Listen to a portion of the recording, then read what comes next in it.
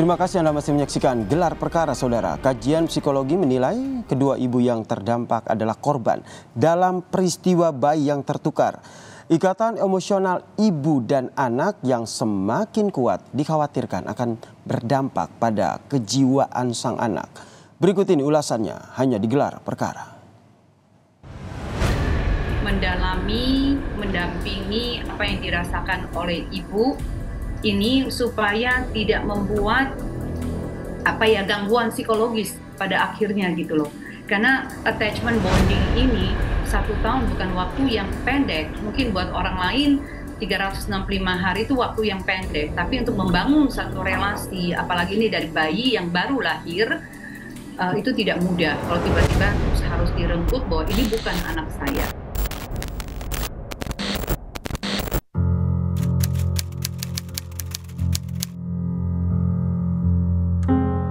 Menurut saya memang kita nggak terima anak kita ketukar tapi kan kita udah ngerawat bayi itu udah nyusuin ya. Menurut saya tetap sayang lah. Kasihan juga sih sebenarnya karena kan ibunya juga uh, udah tahu kalau anaknya itu dari awal bukan anaknya tapi keren juga mau ngurusin selama satu tahun.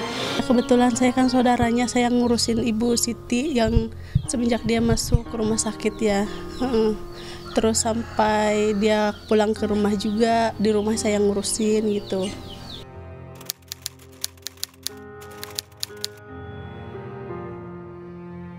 Iya biar asli yang asli ketemu lah biar gimana anak kandung harus ketemu. Uh, cepet ketemu sang ibu dan sang anak karena kan ini menyangkut uh, dua ibu juga jadi semoga cepat ketemu. Urusannya cepat selesai gitu biar kelar lah semuanya.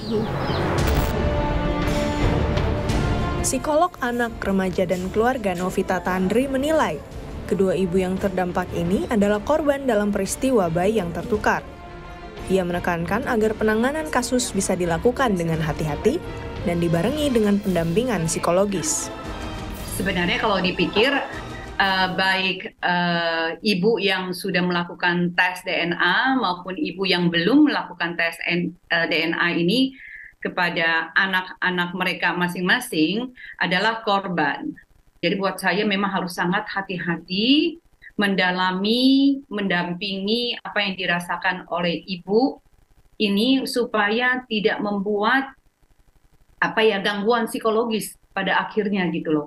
Karena attachment bonding ini satu tahun bukan waktu yang pendek. Mungkin buat orang lain 365 hari itu waktu yang pendek. Tapi untuk membangun satu relasi, apalagi ini dari bayi yang baru lahir, uh, itu tidak mudah. Kalau tiba-tiba terus harus direnggut bahwa ini bukan anak saya. Jadi memang kita harus punya empati yang besar sekali untuk ibu ini, pendampingan psikologis yang tepat, sehingga uh, benar-benar bisa dilakukan dengan cara yang baik-baik saja dengan mempertimbangkan uh, apa namanya kestabilan psikologi yang dialami sang ibu. Meskipun begitu, Novita juga mengingatkan agar kasus ini tidak berlarut-larut demi kebaikan ibu dan anak. Jika dibiarkan terlalu lama, Novita mengkhawatirkan proses bonding atau membangun ikatan emosional antara ibu dan anak akan semakin sulit sejalan dengan bertambahnya usia anak. Tapi juga mesti diingat kalau boleh gitu ya, uh, jangan menunggu terlalu lama.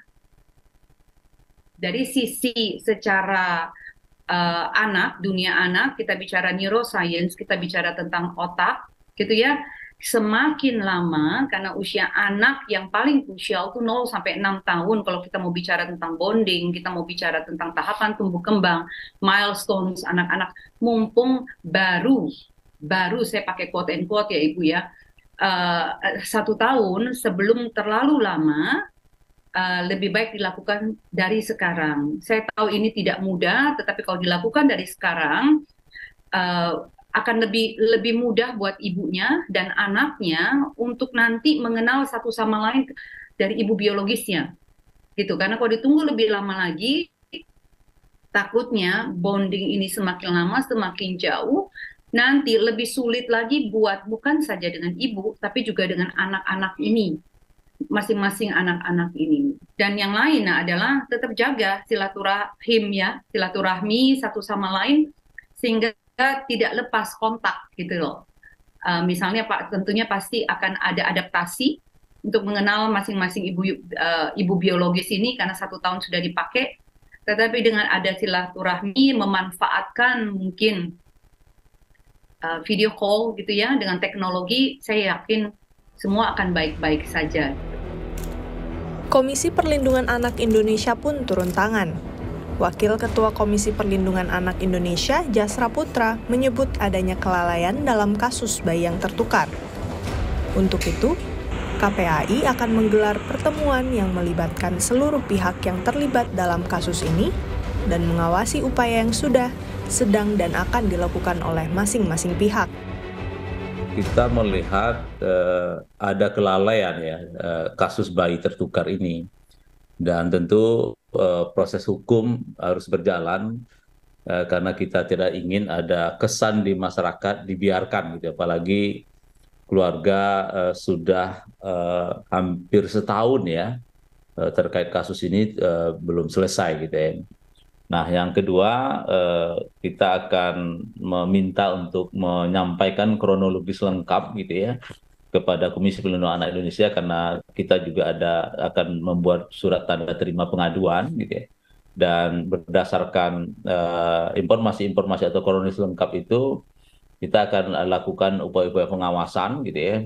Baik itu pengawasan eh, memastikan para pihak atau stakeholder Eh, bisa uh, melakukan upaya-upaya serius uh, untuk menyelesaikan jangka pendek bagaimana uh, anak ini menemukan orang tuanya gitu ya masing-masing uh, karena kalau dua anak uh, diduga tertukar ya berarti dia kan belum menemukan orang tuanya sesungguhnya gitu ya dan ini tentu bertentangan dengan undang-undang pelindungan anak gitu di mana di undang-undang itu disebutkan bahwa setiap anak itu memiliki hak untuk tahu siapa orang tuanya dan dekat dengan orang tuanya.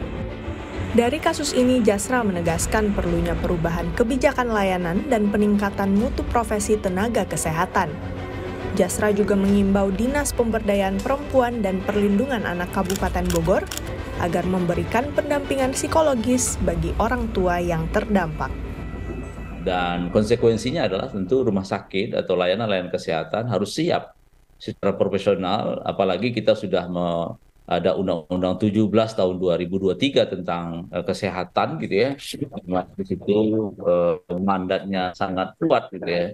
Memastikan uh, bagaimana layanan-layanan kesehatan kita gitu, baik satu dan seterusnya betul-betul hadir untuk anak-anak kita dan uh, kita berharap uh, tentu semua pihak semakin banyak yang uh, memperhatikan semakin banyak untuk buat untuk memastikan dalam jangka pendek ini eh, anak menemui orang tua sesungguhnya, kemudian jangka panjang tentu harus ada perubahan ya, apakah perubahan kebijakan, perubahan layanan, atau meningkatkan eh, kemampuan eh, profesi gitu ya, eh, dan memastikan bahwa eh, setiap anak lahir dengan sehat, setiap lahir, setiap anak lahir dengan aman, ya tentu kita berharap rumah sakit, eh, puskesmas dan seterusnya ini tentu menjadi tempat yang aman dan nyaman bagi anak-anak. Tentu kita menghimbau kepada Dinas Pemberdayaan Perempuan Perlindungan Anak Kabupaten Bogor untuk segera ya untuk menurunkan tim psikolognya.